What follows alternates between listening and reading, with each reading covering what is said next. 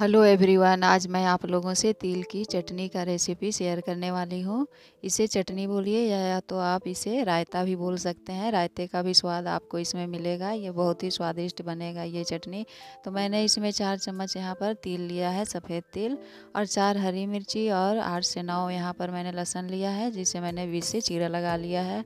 यहाँ पर कढ़ाई में मैंने सरसों तेल लिया है एक चम्मच और उसमें मैंने हरी मिर्ची, लहसुन को डाल के और जीरा आधा चम्मच डाल के मैंने भूना है। उसके बाद हल्का सा जब जीरा चटक गया है तो मैं यहाँ पर तेल डाल के भून रही हूँ। इसे ब्राउन होने तक मैं भूनूँगी।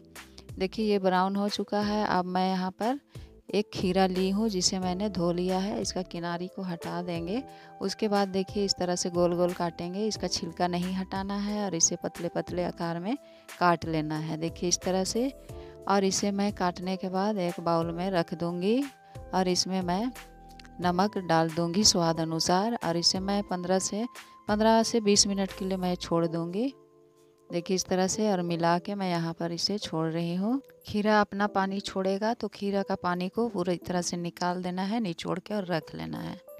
उसके बाद मैं यहाँ पर जार में भुना हुआ तिल को डाल रही हूँ। अच्छी तरह से इसे डाल लेंगे। उसके बाद देखिए यहाँ पर मैंने चार चम्मच लगभग पानी डाला है। और उसके बाद मैं यहाँ पर पीस रही हूँ। पीसने के समय मुझे पानी थोड़ा सा कम हुआ तो मैंने फिर से चार चम्मच लिया था पानी और इस तरह से मैंने पतला पीसा है।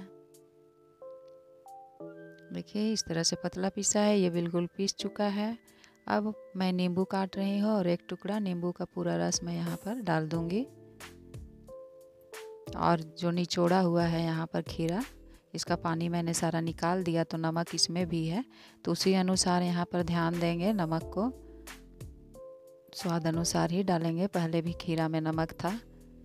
चटनी बिल्कुल तैयार है। ये चटनी के साथ साथ रायते का भी स्वाद देता है तो आप भी ज़रूर बनाइए और खाइए। ज़रा सभी मेरी ये रेसिपी पसंद आए तो लाइक एंड सब्सक्राइब ज़रूर करिए। देखने के लिए